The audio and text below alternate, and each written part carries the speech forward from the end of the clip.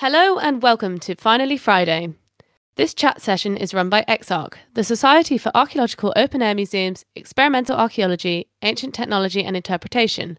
My name is Phoebe Baker, and today I am joined by two specialists from our EXARC community focusing on ancient hairdressing. Janet Stephens is a professional hairdresser and experimental archaeologist specialising in ancient hairdressing. Focusing mainly on ancient Greek and Roman hairstyling, although occasionally branching out into Renaissance and Victorian beauty, Janet used a variety of literary and artistic sources to accurately recreate these hairstyles on live models. Janet's research has been highlighted by the Wall Street Journal, BBC, and NPR, and she also runs a popular YouTube channel showcasing her work. Dorothee Olthof is an archaeologist and founder of PRI, which specialises in archaeology and education with a focus on daily life in the past. As part of this interest in daily life, Dorothee has specialisms in prehistoric, Roman, and medieval hairdressing, and she can often be found at festivals, workshops, and open days, demonstrating these skills to the public. Dorothee stresses the importance of experimental reconstruction and believes strongly in experiencing the past with all senses. So, welcome to you both, and thank you so much for joining me. I have a quick question to start you off. Why do you think hair is an important aspect of the past to study? I think hair is a great avenue for studying the past because it is something that has not biologically changed during the period of Homo sapiens. So the hair that we have today is similar or identical to the hair in antiquity. It's just what we're able to do with it with modern technologies that differs.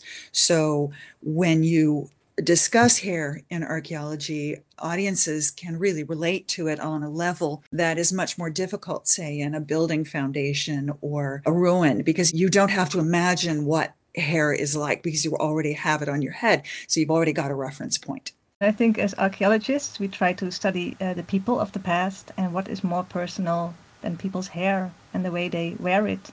In a sense, um, an important message, I think, about identity and what people find important in their lives and social distinctions. I think it's very personal, but also it sends a big message, and it's really interesting to study these things because we don't only want to know what the buildings look like and know what crops they farmed, but I personally would really love to know what the people looked like and what they thought about things. And I know that you both came into ancient hairdressing through quite different avenues. So, do you want to give us a little bit of background on how you got involved in ancient hairdressing? Janet, would you like to go first? Ancient hairdressing for me was a complete accident. I am a commercial hairdresser and I was waiting for my daughter to get out of a music lesson one day so I was killing some time in a local museum and they had displayed their Roman collection in a way that I was unfamiliar with they had just completely rebuilt the collection and done a huge remodel so they set bunch of their best busts out in the middle of the room where you could see them from all directions. And since I'm a hairdresser, I stand in back of people's heads all day, and that's where hairdressing happens. So I had been, prior to this, completely unaware of the complexity and beauty of hairstyles as seen from the back because most museum collections predilect the face and they will put displays of busts up against walls on high pedestals or on shelves so that all you can see is the face. So for me, that was never particularly interesting.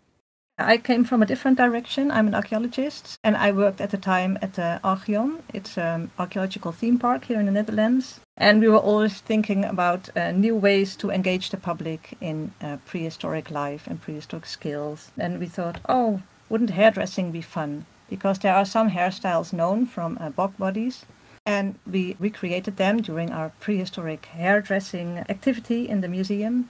And that was great fun.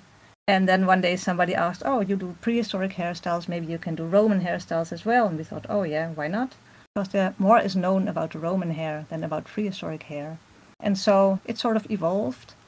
So we have Janet, who's come from a more hairstyling background, and um, Dorothee, who's come from a more archaeological background do you think that it's more important to have a background in one or the other before you become involved, or does it make a difference?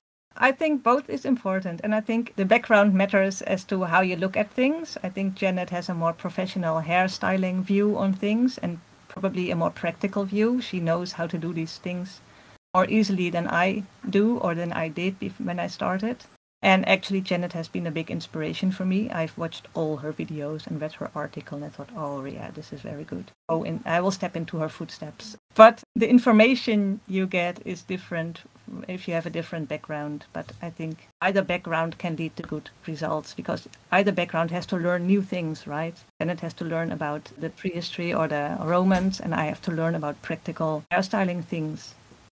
I think you've summed it up pretty well. I mean, I wish I had had more of an archaeological background because I've probably wasted a lot of time not knowing where to look to find sources and articles and things to help me understand what I thought I was doing. That being said, however, I feel like a broad interdisciplinary background, including as many manual skills as you can reasonably have, can be useful to the study of anything. And you'll find that something that seems completely separated from one craft can be heavily involved in another, like I discovered with hair sewing. Because if I hadn't had my needlework background, I would never have been able to figure out the use of the needle in ancient Roman hairdressing. I totally agree. The more practical skills you have, the better it is in all fields of archaeology, I think, especially in hairdressing because it's really hands on. I definitely agree. And so, both of you have spoken a little bit about how not having certain skills can be a hindrance on your work. So, what is the biggest difficulty that you've encountered in your research so far? Well, for me, it has been visual sources because you know, I'm not a scholar. I don't get grants. I don't have an entire summer to travel. You know, I'm lucky if I can get two weeks a year to go on vacation. So I really do rely on published sources and literally going to museums. I swear I pretty much plan all my vacations around visiting different museum collections at this point. But again, I can't stress enough the display problems in most museum collections is that they really do. I mean, I, I get it. You're trying to protect the object, but we're not fully able to appreciate the object when it is displayed in such a way that you cannot see it from 360 degrees. So I'm really excited about like the Musée degli Uffizi in Florence has done a 3D digitization project where you can look at ancient busts literally from any angle, even from beneath the pedestal. So that's been enormously helpful. It's really cool. I'll definitely have to give that a look. Do you have anything to add, Dorothee? Yeah, time is a big problem. I don't have any. I don't have any grants either, by the way. I'm an archaeologist, but I'm not in a university or anything. I'm just self employed. Independent scholars. And um, trying to earn money doing public archaeology. So, yeah, that's a lot of work and um, not much time for research. I try to go to museums as often as possible. And what I would really love is, like in Denmark, to look at the real bog body uh, hair that has actually been found in detail, but how do you manage that? There's still a lot to explore and a lot to study. You've both spoken about how much you plan life around going to museums. Uh, what kind of sources do you use? You've uh, mentioned busts, bog bodies. Are there others? Do you have favorite types of sources to use? Well, written sources can be useful too, and obviously statues and things like that. But my favorites are the real finds, like the real hair, because then you actually have the real thing. People can write about things that haven't really existed in that way, or they invent something. The statues, they can make look them much nicer than they were in real life. But if you have the real hair, well, that's the real thing. I can certainly agree with that attitude. The only problem that I find with a lot of the existing artifacts is that they are so old. They're fragile, they're crushed, they're frowsy. It's sometimes hard to imagine them as that kind of living, moving material. I personally prefer the busts myself because they're three dimensional, but any image, any visual image that has the correct views, I'm all about it. But um, I would say, in terms of my own research, so much of what I have to do as a hair care professional is forget about the technologies I already know when I'm studying a particular period. So, with the ancient Roman period, I literally have to check myself through museum catalogs and artifact tool collections just to make sure that I'm not presuming the existence of a tool that I cannot defend. You know, like the idea of clips or bobby pins, etc. lots of folks have made that assumption that they were available, but if they're not in the archaeological record, you really aren't being honest if you try to use them. That's a really interesting point. Do you have anything to add to that, Dorothee, about how important it is to be able to use as authentic tools as possible? I think it's really important also to understand how they did things and how it feels and what it looks like if you used real tools. And yeah, it does make a difference if you use bobby pins and uh, what are they called? These elastic thingies. Sometimes it's even more difficult with those modern things because they don't work in the way the ancient hairstyles work and they get in your way because you can't take them out. Whereas when you bind it with like wool or leather leather thread, you can take it out when you need to. So yeah, I think it's really important to use the original, well, as close to as possible original tools. Also for yourself, so you can feel more what it was like to be a hairdresser in Roman times. Now, I would say the one thing that I do get tripped up with when I'm doing live demonstrations is that we're at the mercy of the haircut that the model brings. Oh, yeah, definitely. It's very hard to find models who have just let their hair grow out to its complete length because the thready, wispy ends of fully grown out hair add properties to the hairstyle that make them actually sometimes easier than when you've got a blunt uh, waist length bob. You know, if we had that extra length, we could do more or we could make it stay better because all these blunt ends they keep sticking out and i often do hairdressing demonstrations at roman festivals and things and then all these little girls come and they have only three hairs on their heads and they still want these fantastic hairstyles. so you have to get really creative. Well, but at the same time, one of the cool things about it, I think, is that the hairstyle is just a set of mechanical actions you perform on it. The finished hairstyle is the combination of those actions and the material brought to it by the person wearing it. So you can put an identical hairstyle, they did all the same stuff, but they'll look very, very differently because of the individual wearing it. So I feel like oftentimes we forget the human variable that is brought into this because most of the busts that we ever see are just a snapshot of an individual at a particular time as far as was possible for the period and transferring that idea onto another head of hair is very hard to do just in your mind and also the structure of the hair. I'm a real fan of Mediterranean hair. All these Moroccan girls, I love them. They have fantastic hair. It works perfectly. But the Dutch girls, hmm, not so. Not so much. well, remember, the Mediterranean girls were there at the time, you know? yeah. And I even once heard a girl, she also was a hairdresser actually and turned archaeologist. And she said that um, the Roman hairstyles, they work best with Mediterranean hair because that's where they were invented. And if you look at medieval hairstyles, they are much simpler because they are more adapted to Northern European hair. Would you agree? I can agree with that to a certain extent, but also I would throw in philosophy and religion into that because at a certain point, you know, after the third, fourth century, Christianity decreed that most women, especially married women, would keep their hair covered. So if you are going to be covering your hair, there's no real reason to do elaborate styling underneath because nobody's going to see it. So the focus of beauty and elaborateness and display transferred from the hair itself to the headdress covering the hair, in my humble opinion. Maybe, yeah. If you look at Islamic ladies, underneath all the headscarves, they are really beautiful. And they do care and they do interesting things with their hair. No, absolutely. I'm just thinking in terms of the limitations of daily life in antiquity and medieval periods, is that there were eh, not as many possibilities or artistic trends, shall we say, that would allow more insular communities to show off in that way. Under a burqa, yes, you can have an amazing Chanel outfit and lovely hair, but that is not, I expect, what was going on in the 12th century. Actually, the Roman ladies were also supposed to cover their hair in public, but they're hardly ever depicted like that.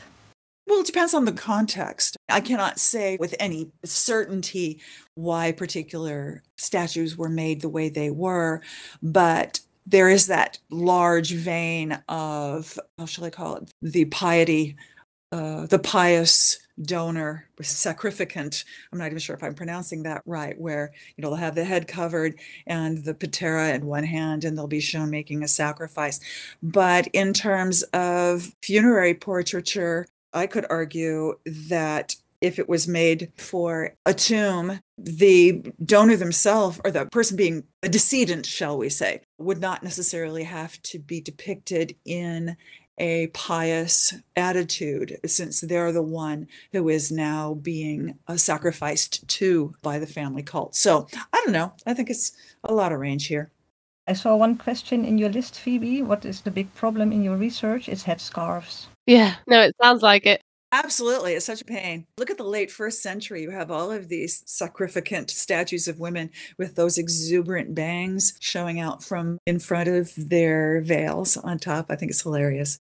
So, would you say that headscarves are an issue that you find in a lot of time periods? And then, if not headscarves, do you find commonalities in hairstyles between any of the time periods that you study? Because you both have some experience of multiple time periods. I think there are some universal styles. The bun at the back of the neck just seems to be omnipresent in practically every period, or just the single braid or the sing- two braids on the side. Those seem to be really just the basics. If you wear a braided bun today, you could shoot back to the second century AD and fit right in. Hmm, that's an interesting point. Yeah, but they're so basic, these hairstyles. If you have to get your hair out of the way because you're cooking on a fire or you just want it out of your way, that's the easiest thing to do, isn't it? Just braid it or pin it up in a bun. So it tends to be the simple ones. You touched earlier on um, the differences between using. So, Janet, you mentioned about how bobby pins actually can make the hair quite painful and that sewn hairstyles that you've concentrated on are quite comfortable. Could you comment on that a little bit? Well, bobby pins were invented in the early 20th century in order to hold very short hairstyles in place. So, what it does is it's a kind of a spring steel that, when bent and crimped in a particular way, it exerts an independent compressive force on the hair. So, you can slide it in and it will hold even really, really silky hair in place. It will just stay there. Whereas if you're trying to do a very elaborate braided style and it covers a great deal of area on the back of the head, bobby pins, at least the way they're made today, you need to put in so many of them that they will start to pinch the supporting scalp hair and pull it and make the hair at the scalp feel painful. It can even pull out some of the hair.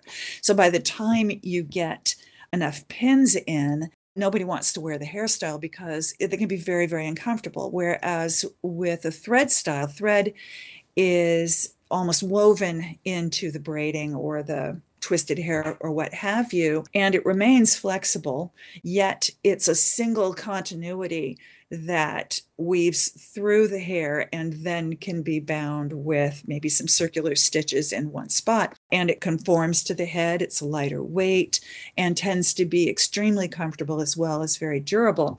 So I've often had demonstration models comment independently on, oh, gee, how light this feels, how comfortable it feels, and yet it feels like it's going to stay.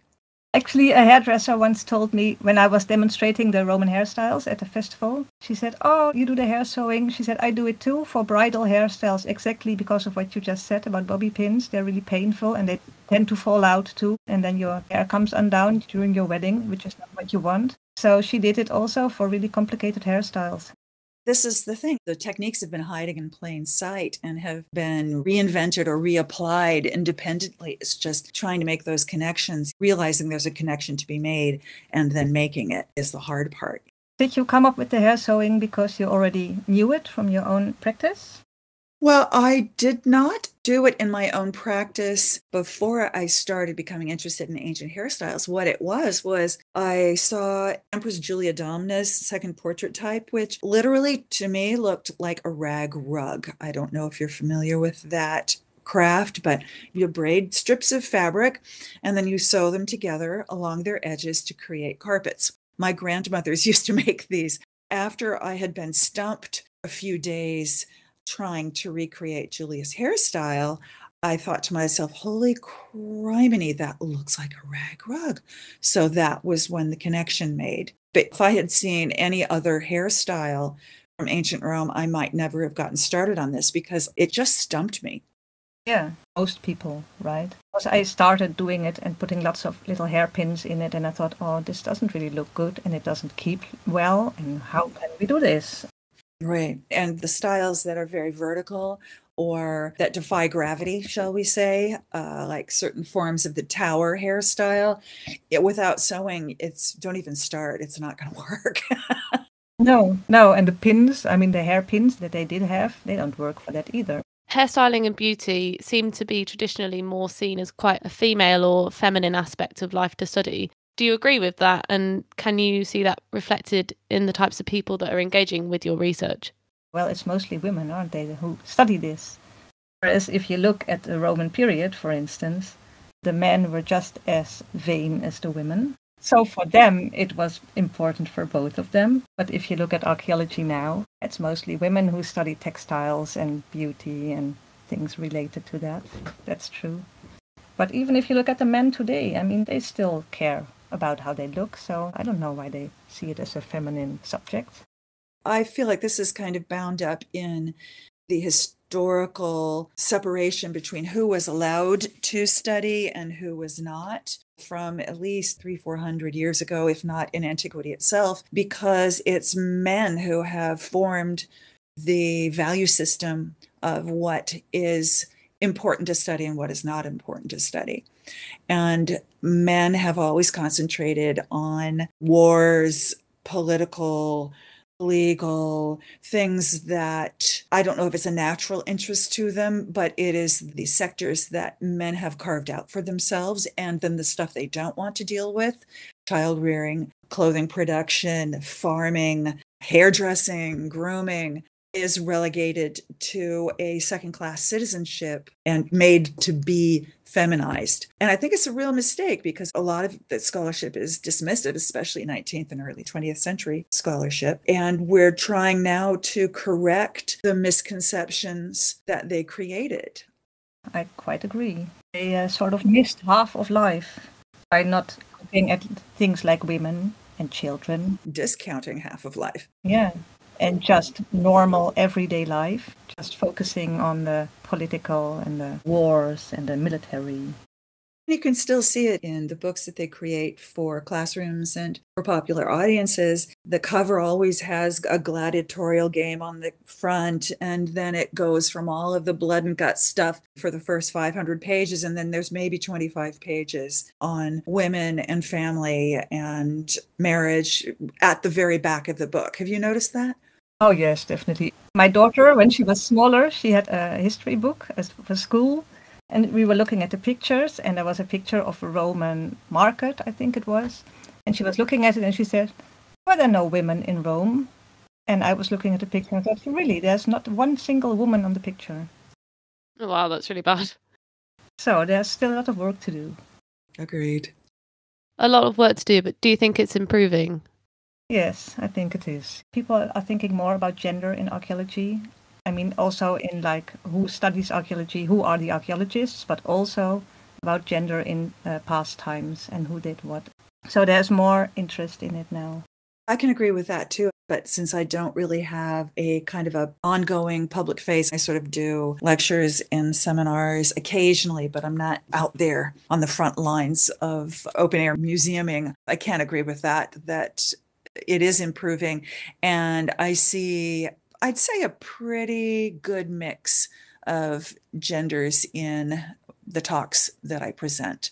So that's also encouraging. Oh, that is really encouraging. I'm glad to hear. So, you've both in the last couple of sentences touched on public outreach, and you both do different types of public outreach. What kind of advantages can we take from digital versus in person and then open air reenactment type things. What kind of advantages, disadvantages, or differences do we see between the various types of public outreach?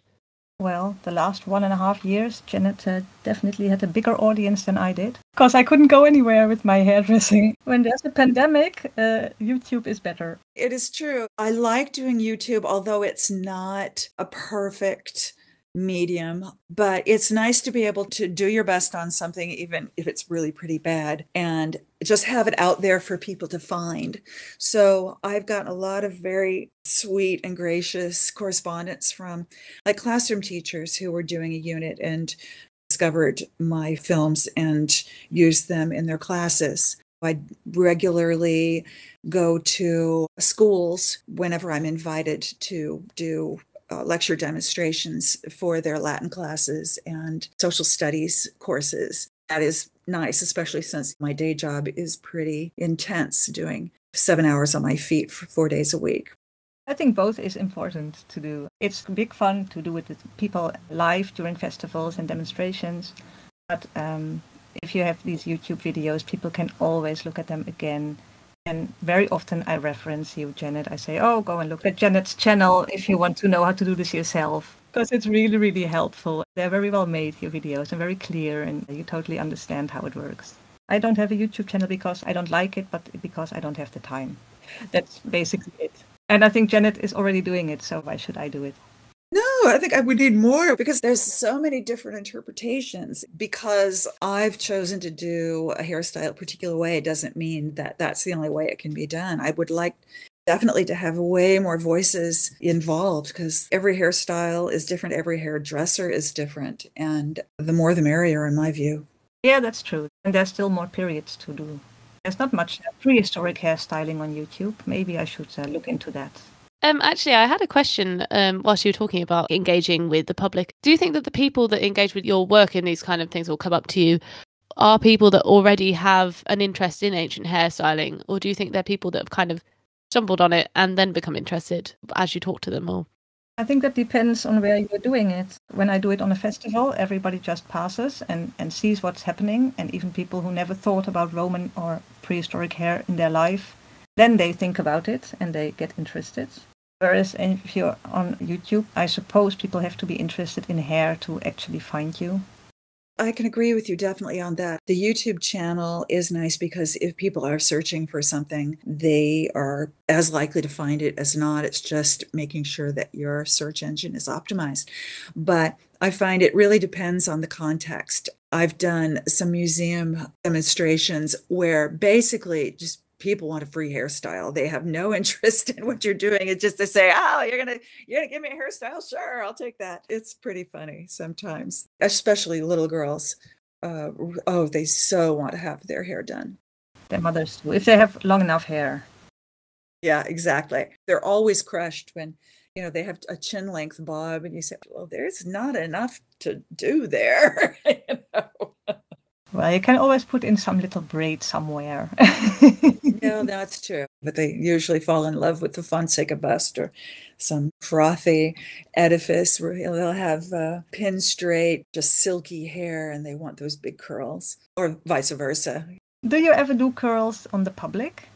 I try not to. I have done them for a couple of lectures, and it was among the most thankless tasks I've ever performed because you cannot control the humidity in a presentation. And I did one, it was for the Society of Biblical Literature, where I curled this poor girl's hair for probably an hour and it just kept relaxing and getting straight again.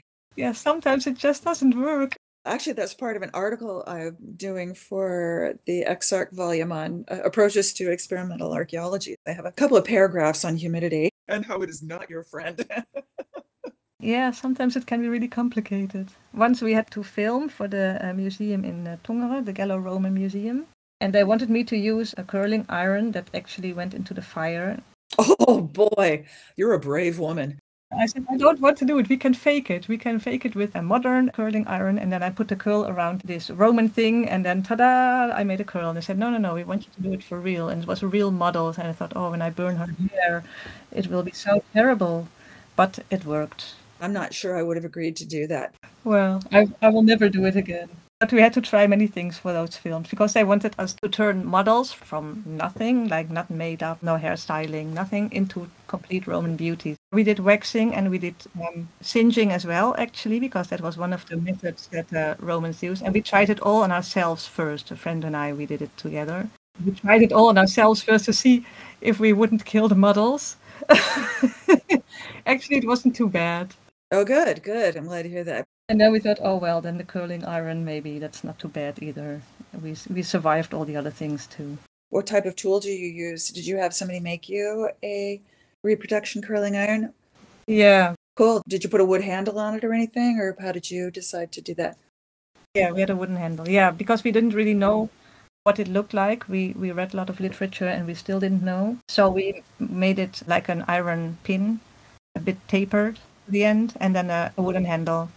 Well done. I've used a ring mandrel before trying to do that, like a metal ring sizer that has a wooden handle, and that works pretty well. But the metal is so heavy that it takes a really long time to heat up. And once it's hot, if it's too hot, then it's dangerous after that point. But that shape works really well. In fact, are you familiar with that funerary stela? In um, again, it's in the Uffizi. I think it's Stupi Ferrarius Hermes and his wife. Her side of these uh, stela has um, what looks to be a curling iron as one of the intaglio images. I don't think I know it. it's really cool that you can actually see a curling iron.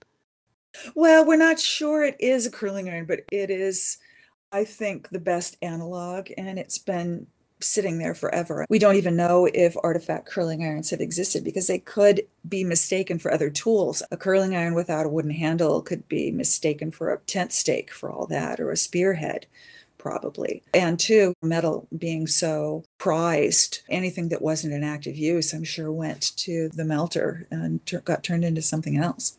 Or it has just rusted away. Yeah, presuming it was iron, I would expect these tools to be from bronze, but um, iron is not at all a bad idea. Yeah, that's an interesting point. That's one of the big mysteries of Roman hairdressing. We know they did it, but we have no idea with what. Well, I hope you managed to solve it. I'm thinking about wrapping up. So, thank you both for that interesting discussion. As a final question before we finish up, what are your plans for the future and how can the EXARC community help to make a difference in regards to the points that you've discussed today? Um, well, I have a plan for the future because I really want to recreate Spuma Batava. You know, the stuff that the Germanic people made and actually apparently can bleach your hair. And it's a kind of soap. And I'm really curious how it works and how soap can bleach your hair to such an extent that it becomes blonde if it wasn't already. So I'd love to try that. Read up on soap making, I think. There's a lot of medieval and Renaissance soap making manuals, and they do discuss how controlling the alkalinity of the soap was difficult. And we know from the Venetians how they used ash water and soap to bleach their own hair. They would apply it to their hair and they'd go out in the sun. The sunlight accelerates it, but the alkalinity has a lot to do, I think, with the actual bleaching factor. So it may be a reaction with the alkalinity and just free oxygen in the hair, because the way we do it today is with alkaline solutions like persulfates and ammonia, and then we add peroxide to it, which speeds up the process. So that would be my guess. But the whole idea of whether it was the pila Mattiaca, which would be the, the soap balls versus the liquid one, what was the difference and why did they have two? Would be a question I'd be interested in.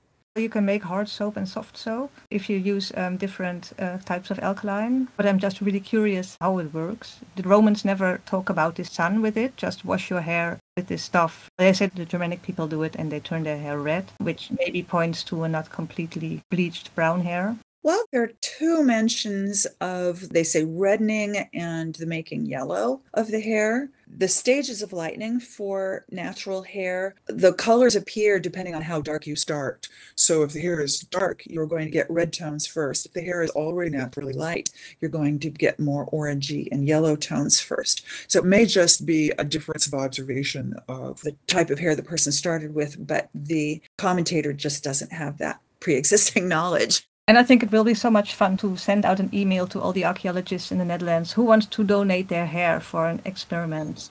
Absolutely, absolutely. Yeah, hair samples, my favorite. So, yeah, that's one of the plans. I hope to do that maybe next year after I've practiced more with making soap because I've already done it, but I need more practice. The description says the best spuma batava comes from, uh, what was it? Goat fat and beech ash. So I need to get goat fat and beech ash and make my own alkaline and then make soap really the old fashioned way and not the modern way with all the chemicals you can just buy. And Janet, do you have any plans for the future? I'm also working on a photographic manual of ancient hairdressing that I hope to kick along soon. I've got about three empresses in the can and I need to do about a dozen more, so stay tuned. Ah, will you make a book out of them? Yeah, that's what I'd like to do. Probably, I'm hoping just a picture book where you don't even have to necessarily have text involved to see what's doing. It might even make an interesting flip book when you just see them happen in real time. But, you know, the problem with video is that it's at the pleasure of the platform companies. So, should YouTube go bust or decide to do the big uh, digital blackout or digital dark ages, the video could easily be lost and you know i'm getting on i'm 63 so at some point who's going to be the steward of the channel if i continue to make a lot more videos? This stuff starts to get complicated. But i always feel like if it's hard copy it lasts. No i'll be picking up a copy i reckon. So um thank you very much both of you janet and Dorothee for joining us today. And thank you so much for sharing your experience and expertise. I know that I learned a lot for sure, and that I'm sure our listeners will too. Thank you. It's a pleasure. Thank you. Yeah, it was good fun. And um, thank you to everyone else for listening to this episode of Finally Friday by EXARC. If you would like to become more involved with EXARC, why not become a member? Alternatively, you can make a small PayPal donation through the website to help support EXARC in its endeavours.